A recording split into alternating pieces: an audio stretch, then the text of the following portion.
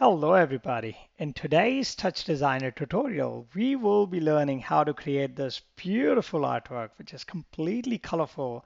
There are so many basic foundational um, uh, TD nodes that I've used, and it is so easy to create. And this tutorial can be pretty much be wrapped within just five minutes. And you would be surprised how basic components of TouchDesigner can literally allow us to produce some of the some of the best and beautiful design and artworks. And uh, one thing that I can definitely tell you is this is a very good um, uh, a very good tutorial for those who are looking for creating an interactive installation. Um, so you can see like you know I'm I'm playing around with my uh, gestures and movement uh, in front of my uh, laptop's camera and uh, I'm able to produce this beautiful colorful output. The other thing that I would want to bring out to you is uh, this is my Patreon page. Um, it would be amazing if you guys can follow me. Uh, there are a lot of good tutorials and everything that I actually uh, produce on uh, on weekly basis. Uh, and there is so much more that you would actually get to know. Uh, there is this uh, account that you can try and reach out. So it would be amazing if I can get um, your support. Your support will be appreciated a lot. All right, first thing first, let's get going and clear the canvas. Now, as we know that this is a web camera based tutorial, so we want to have the video device in. So this is the video that uh, we get. Make sure the signal format is marked as um, 30 hertz. So it's it's going to be flawless and it's going to be very very easy. Uh, the next thing that you do is you convert the signal into monochrome. So once the signal has been converted into monochrome, you can see the difference. Here it's very colorful and it's here it's black and white. The next thing that we want to ensure is we are setting up the resolution because if we look at the output that we were producing, uh, it was more about a square resolution. So here I would just go and use fit and here fit is going to be something that I'm going to go with and first thing first, I would go and set the resolution as 1024 by 1024. And you would see that there is a, a gap coming out. Um, there's this alpha channel that you see. It's because um, there needs to be an option that needs to be selected. So currently it's selected with uh, fit best. So which is why you see this. Uh, but fit outside is something that we definitely need. So you can imagine how beautiful, um, you know, it's it's turning out to be. All right, so once fit is done, then we go with blur. So blur is going to be a very simple uh, node that we are going to use. Um, the current filter size is 7, but let's increase it and let's make it as around 22 and pre-shrink is one at this point of time. We can increase it and we can make it as three.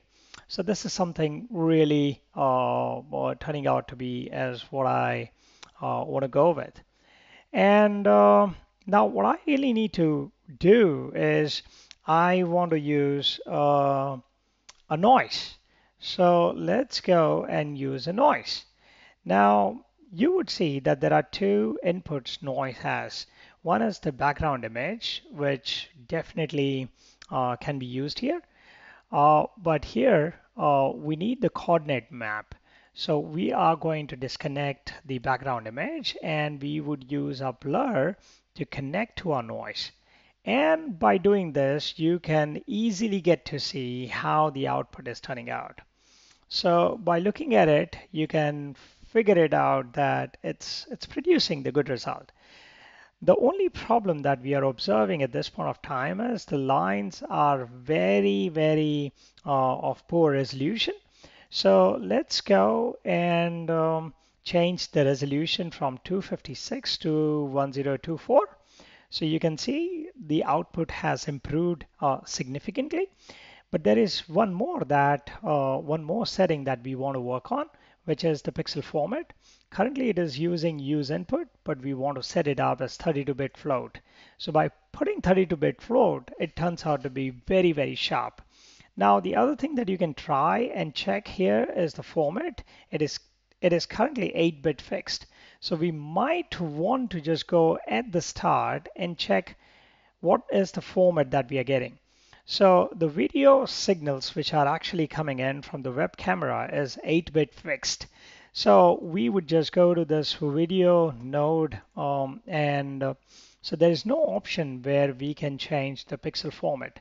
But in Mono, we can definitely give a try and change the pixel format from use input to 32-bit float. So that gives us the assurance that, okay, whatever number or whatever signal which is coming in from the video input, we are still converting we are still converting that into a 32-bit one. So this is pretty good. Now, the other thing that I need to do is I'm going to switch to monochrome. Now, this definitely gives me what I am aiming for, but still, it's not uh, to the point that I'm in. Uh, one of the things that we want to work on is we can work on uh, seeds. So you can play around and you can choose any seed that you like, any number that is convenient and comfortable enough, uh, you guys can pick it up.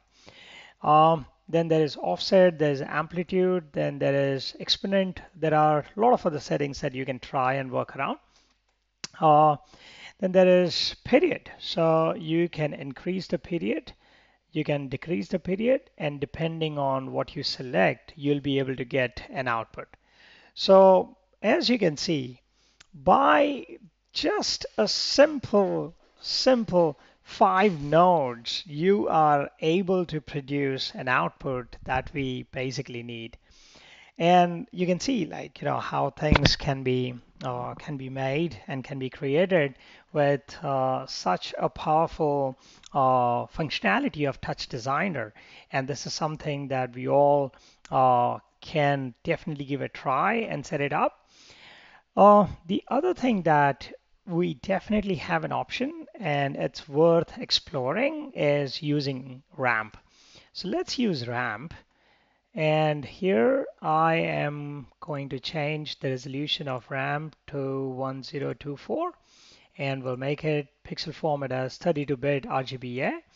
Uh, currently the ramp has been set up as horizontal. I am going to change it to circular. The period that you see as 1 will leave it 1 as is at this point of time and then I would be using lookup. So let's go with that option and let's see how good the output is turning out for us. So I'm going to switch on the output from noise and I'm going to switch on the output from the lookup. And we can find out uh, the output from the lookup is much better as compared to uh, what we get it from the noise. And as you can see, this one, this is a much vivid and colorful output that we get uh, by using lookup. And again, the lookup can also allow you to do a lot of other things. You can change uh, phase. So by changing the phase, you'll be able to see more uh, granular detail. And uh, sometimes, you know, it can be a need of the project and which is where you could do that. Uh, the other thing is you can work on a period. So a period can allow you to increase and decrease um, the brightness of it. But I would not be using period for that. Uh, now the other thing that I can do is I can actually use a level to increase the intensity of my colors. So I can increase the contrast and you can see how well the outputs are coming up. So this is definitely very, very basic, very simple, and something that just can be created in a short span of time. And you can see how beautiful the output can actually be produced. Well, I hope you enjoyed this tutorial. This was a short one, but very impressive one. I would really appreciate if you could uh, comment and like my videos on YouTube and share it with others It really brings a lot of joy, and your comment really makes me uh, smile. You know, it, it actually tells me that, oh, there are a lot of people around the world who are getting so much of benefit uh, from these tutorials, and I feel happy about it. So yeah, uh, well, this is 10:40 p.m. in Sydney at this point of time, and I'm very, very happy that I was able to produce some good uh, tutorial for you all. Well, I'm going to come back with some more good tutorials, and until then, goodbye. Bye for now. Thank you.